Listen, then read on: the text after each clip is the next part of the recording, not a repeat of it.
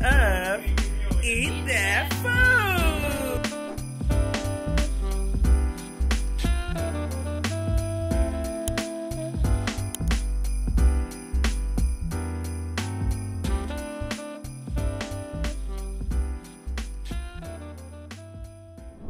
Hey, what's going on, everybody? Welcome back to the Branch Chronicles. Today, I get the privilege and the awesome opportunity to react to one of my favorite renditions of Jesus is a Love Song.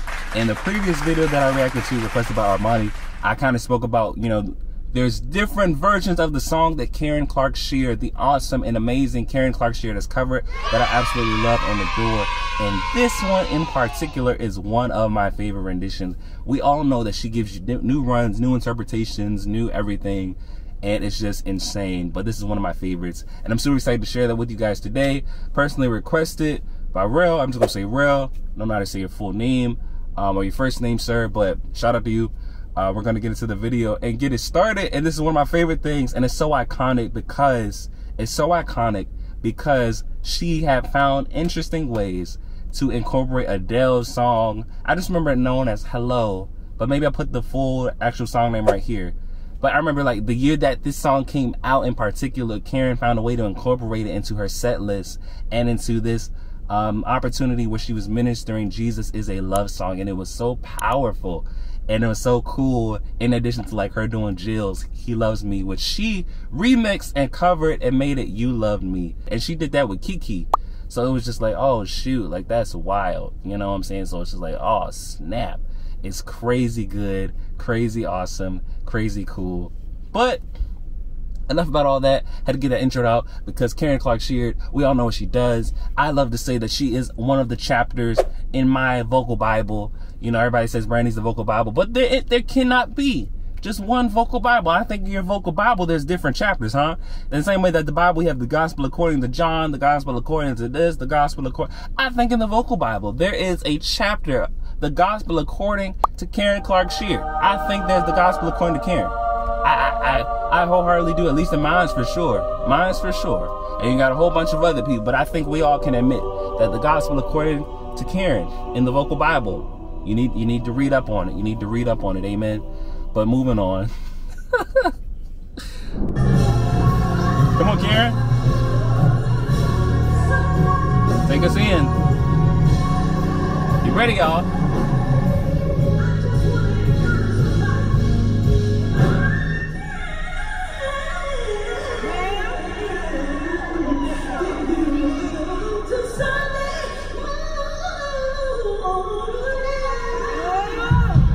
One more time, rewind.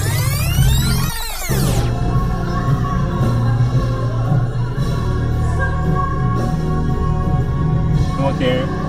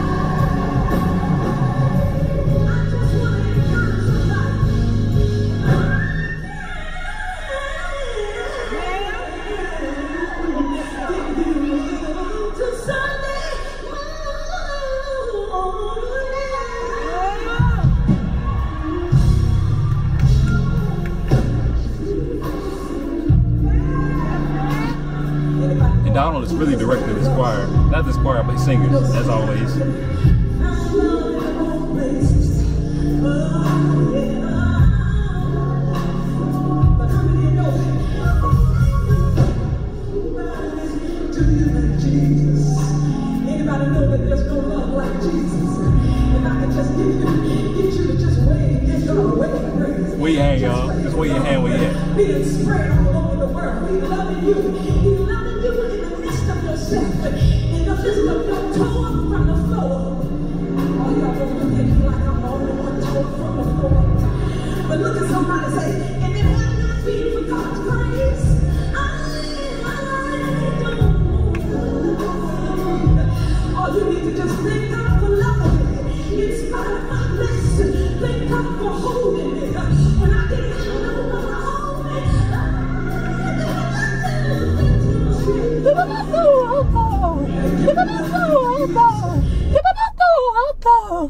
Again, I don't know what verse that is.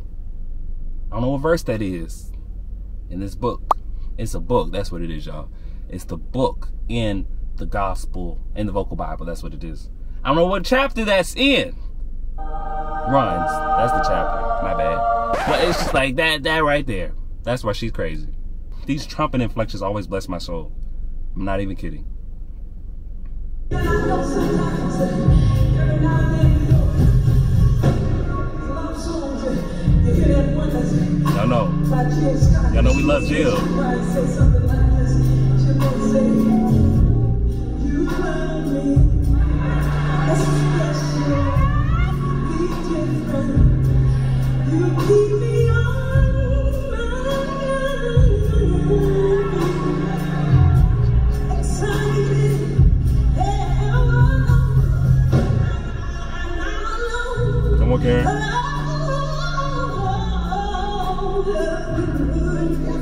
What's that girl? Wait a minute, wait a minute, wait a minute. Boy, boy, boy, boy.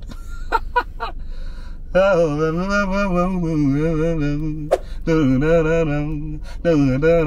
this part right here remind me of Dorinda.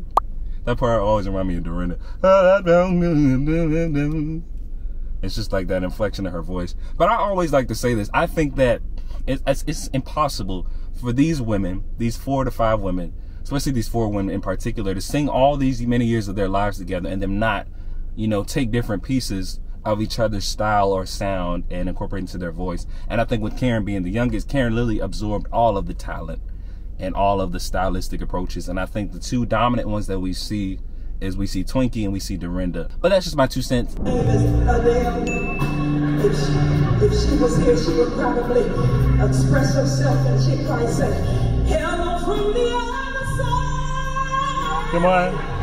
Must have called a thousand times to tell you that I love you. That's my twist. My twist. But is there anybody out there you ever prayed and you cried? I know I have. And you said, Where is God? Yeah somehow God will come in a little still voice and let you know you're not alone.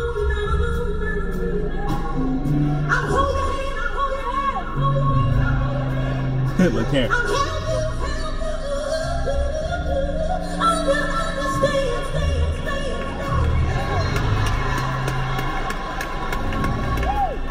And then somebody said, well, you know, I just crying. I don't know why I'm crying,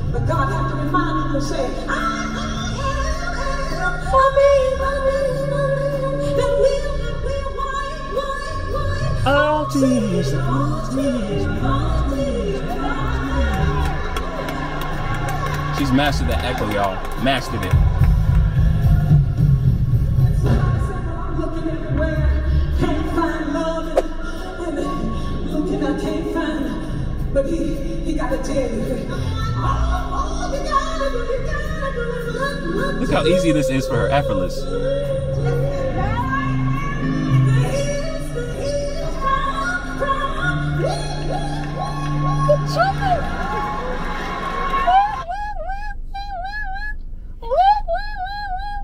Like. The master of echoes. I don't know who thinks to take an echo and incorporate that into their live performance stuff and has mastered it. None other than Karen Clark Sheard. It's unheard of. That's ridiculous. It's funny because I remember one time I literally was walking across campus. This, I think it was shortly after. No, it could have been shortly after. It was a little while after, long enough after me coming to the revelation who the Clark sisters were and even studying them individually. And I remember I was studying Karen and just finding out about this phenomenon, which is these echoes. And I literally, y'all, like I promise you, like I was walking across campus with my friend, and we was I wasn't even thinking about it, I wasn't even talking about them. I literally was so into these echoes, I literally tripped. I tripped you guys. I was like, oh no, oh no, oh no, oh no, oh no. It's like, oh, what? It was like, who? What? What's wrong with you, bro? You got too much Clark sister in your system, too much Karen Clark. You just, you just. but But she's so crazy, you guys.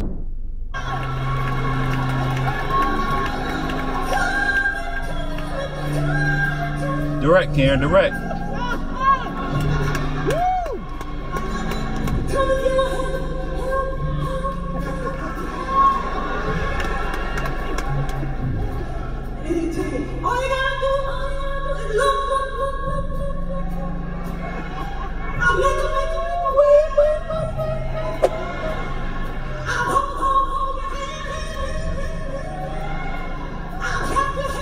get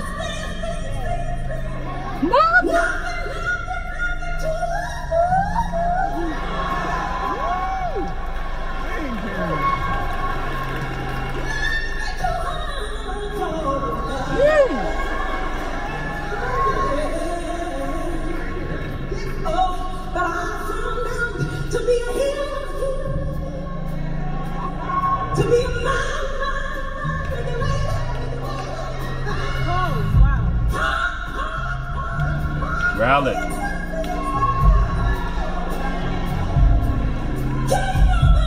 Take us in now.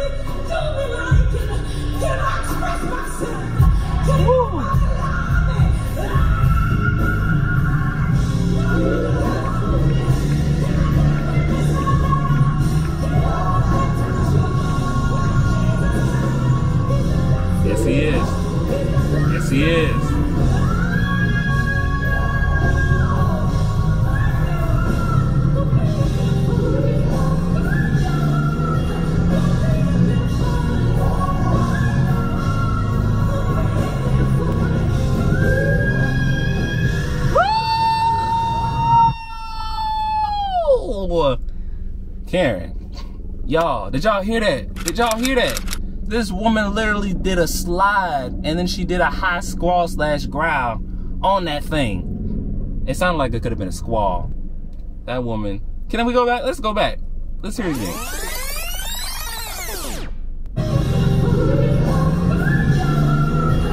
Here go, y'all.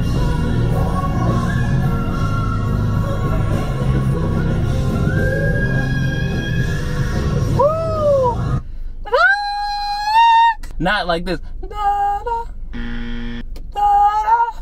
Like, how you gonna punch that joint?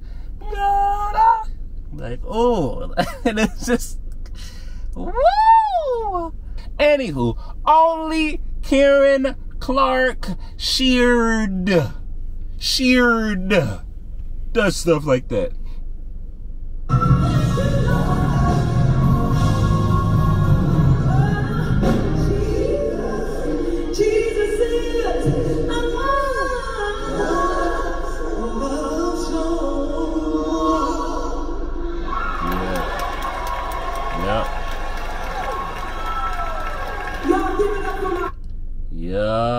Yep. Yep, yep, yep, yep, yep, yep. So that's Karen Clark Sheard singing Jesus Love Song, y'all. That's my favorite rendition of the song. As we saw, she sang down, echoes check, riffs check, runs check, um, soprano high, just soprano high belts, just belts, full belts, check, all everything. She just did she, did she disappoint? Oh, okay, I didn't think so. She didn't disappoint. She came through. She always comes through. She literally takes that song by storm every single time. And anytime she brings in echoes, it's just like, man. But I'm always a fan of when she chooses to minister the echo. Like God may come to you in a still small voice. And I don't know about y'all. I never heard God echo to me. But, you know, I think there's something powerful to be said that even that should be like your prayer that will God will continue to reiterate to you the importance of it, you know, or whatever he's saying to you. Like all you got to do is look, look, look, look to the hills, hills, hills, hills, hills. And like that should be our meditation, that should be our heart posture. That should be what we focus on. that should be what we focus on. Just studying to remember the Lord's voice and actively trying to seek him in every single thing. I love it. Here for it. If you got another Karen Clark Sheard video you want me to react to, if you got another Clark sister video that you want me to react to, if you got another gospel video you want me to react to, all three of them joints, put them joints in the comments. I'm gonna get to it as soon as possible. Um, I love you guys. As I always say, don't get bitter because life does get better. When your life is out of tune, Jesus is capable of putting it back in tune and getting you right where you need to be. Let his love be your melody and don't be nasty to nobody. You hear me? Don't be nasty to nobody, but let Jesus' love be reflected in your actions as well as in your heart. So until next time, you guys, I am out. I'm gone. Peace. Don't get bitter because life does get better. Thank you, Holy Spirit. I hear somebody saying, Why do you always say that? I always say that because I want to remind people that with Jesus, life always gets better. Even when situations and circumstances come up against you and it looks like you're not going to win, we know that we have the victory already because we know the end of the story, right? So Jesus conquered it all. If Jesus has conquered death, hell, and the grave, then there's no problem too big. There's nothing too difficult that God cannot solve. I love him. And even speaking about that, it reminds me of one of my favorite songs that Dorinda actually leads to, if you've never heard of it, is There's Nothing Too Hard for God. That song ministers to me every single time. If you never heard of it, I would encourage you to listen to it. I'm going to put it in the description below. But I digress. I thank you for tuning in, subscribing, and all the things. Until next time, good people, I'm out for real. Bye.